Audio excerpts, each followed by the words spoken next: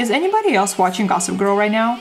The blouse is Maje, secondhand from Beacon's Closet. The skirt is Cooperative, secondhand from Beacon's Closet. The tights are Sheertex, purchased new in 2021, and oh my god, I am obsessed. And the shoes are Pour Victor, purchased new in 2014.